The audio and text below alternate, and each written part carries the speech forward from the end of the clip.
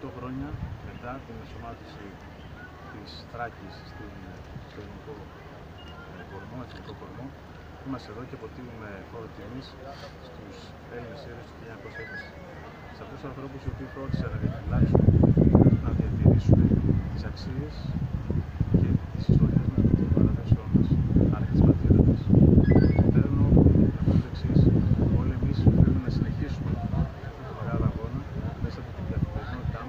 Wisconsin.